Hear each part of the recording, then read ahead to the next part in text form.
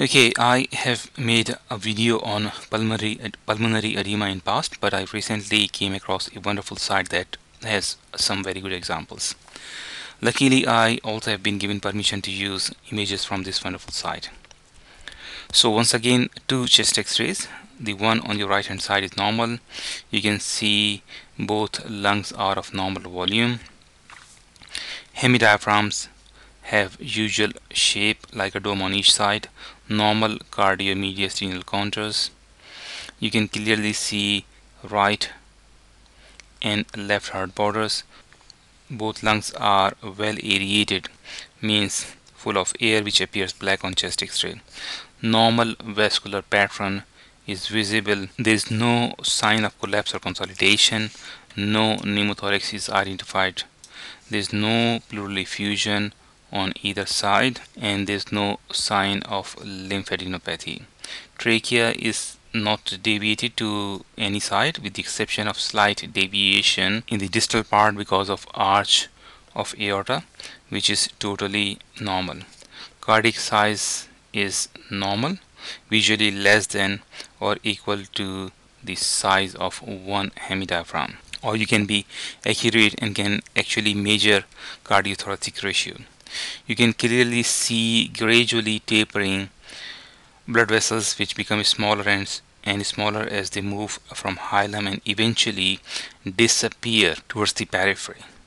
They become so small that they do not remain visible in subpleural areas.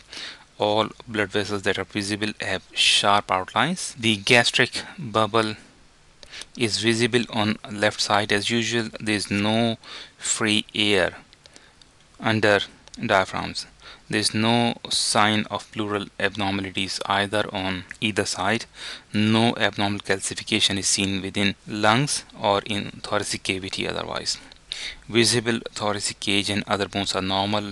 Angle of carina is less than 90 degrees. In fact, it is much less than that. Vascular pedicle width is also normal. The vascular pedicle width is measured by creating a vertical line from where the left subclavian artery leaves aortic arch and measuring across to a point at which superior vena cava crosses the right main bronchus. It should be between 4 to 6 centimeter. Again, as you see more x-rays, you'll be able to visually tell whether it is normal or not. Vascular width can be indicative of pulmonary edema and can help differentiate its forms. On the X-ray on your left hand side, you should instantly note that there is a significant increase in linear markings. Vessels have lost their definition too. You cannot clearly see their borders. Lungs do not appear to have usual lucency that they should have the x-ray shows increased vascular pedicle width which we just learned can not only be indicative of pulmonary edema but can also be helpful in differentiating among different forms. There is some blunting of costophrenic angle indicating the presence of pleural effusion. The horizontal or minor fissure as it is known as is quite prominent. Heard is a bit enlarged but one of the most important diagnostic features is the presence of these subpleural lines that are predominantly visible in lateral basal area. These horizontal lines that are visible in subpleural areas and unlike blood vessels are horizontal. As you trace them medially they disappear. These lines are actually known as Kerley B lines. They were first described by Dr. Peter Kerley, an Irish radiologist, and hence are named after him. These lines are classical features of pulmonary edema and in fact are edematous interlobular septal lines.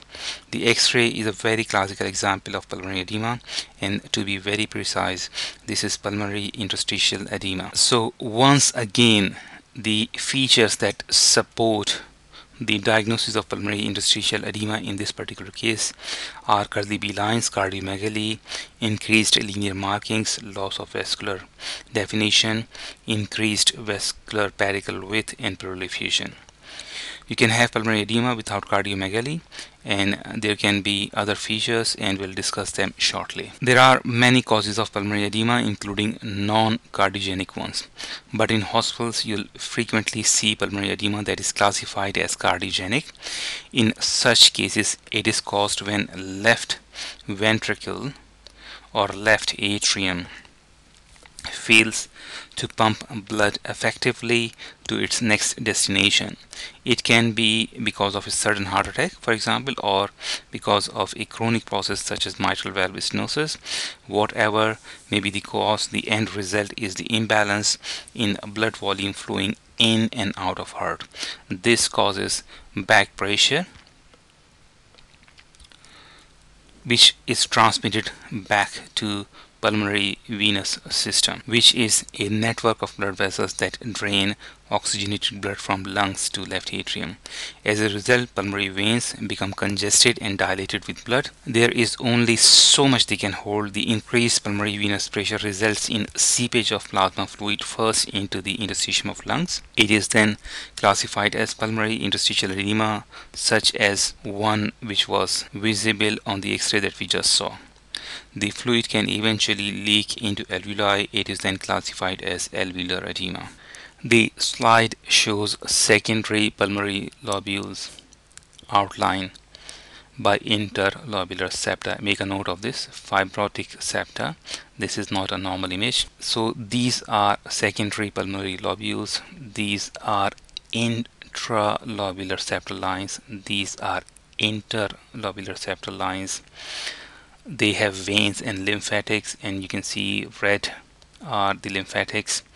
And these are actually bronchovascular bundles. They carry bron uh, bronchial branches as well as pulmonary arteries. So these lines when they get filled with fluid become visible as Kerley B lines horizontal lines that run from pleural surface towards the hilum horizontal lines that become invisible as they move as, as they as you try to trace them towards the hilum or mediastinum and as I said interlobular septal lines are actually composed of connective tissue and contains small pulmonary veins and lymphatics Kerley B lines are actually fluid filled interlobular septal lines that become visible as sub pleural horizontal lines. The lymphatics, as they move towards the hilum, become fused in bronchovascular bundles and become hard to see.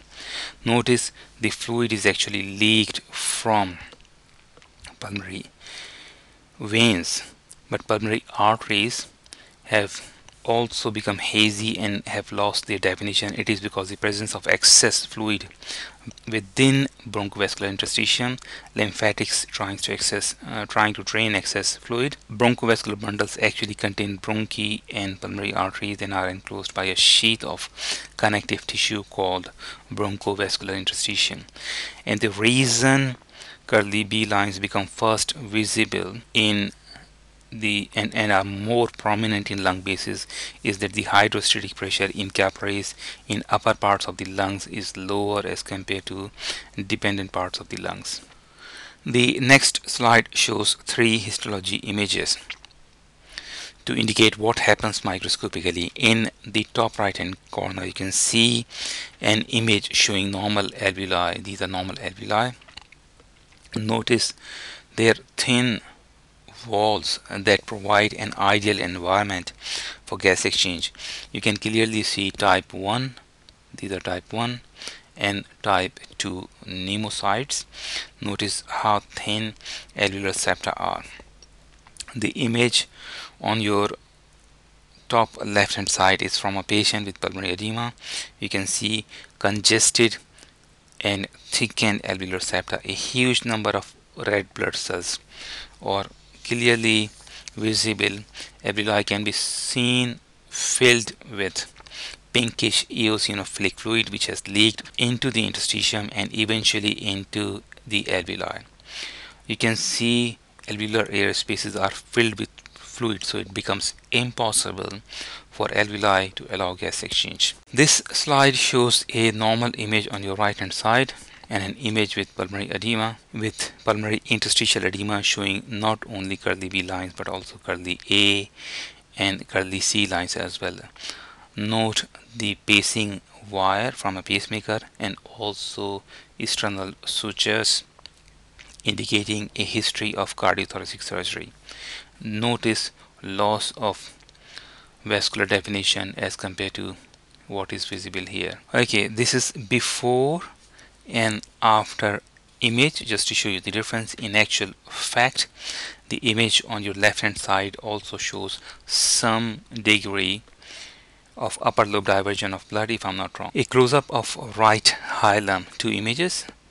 The one on your left hand side is normal. Notice how clear the outline of blood vessel is as compared to the image on your right hand side.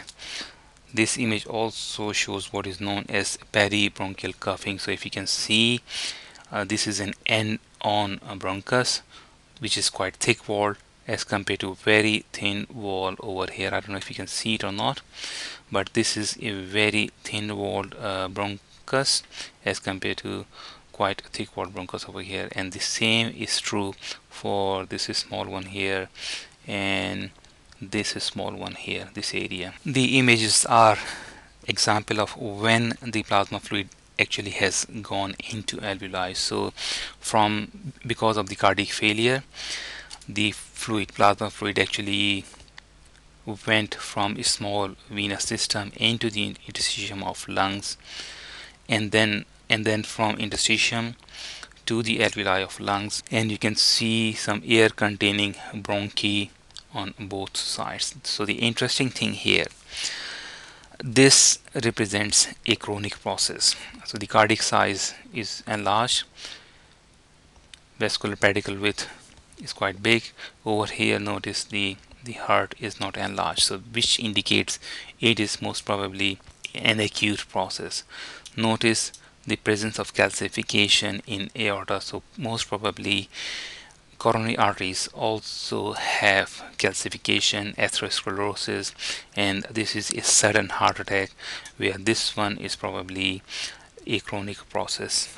Another example of uh, pulmonary edema uh, in fact pulmonary alveolar edema when the fluid actually has gone from within the interstitium into the alveoli. You can see air bronchogram is quite nicely visible here. You can also notice intra-aortic balloon pump. So uh, this balloon pump has been inserted to help her to pump the blood. You can also see an endotracheal tube. So patient is on artificial breathing quite sick. And these are ECG lines and there are some other lines as well. Cardiogenic pulmonary edema is usually treated with a combination of oxygen, diuretics, nitrates, uh, morphine, dopamine, uh, angiotensin converting enzyme, beta blockers, etc. etc. Thank you very much.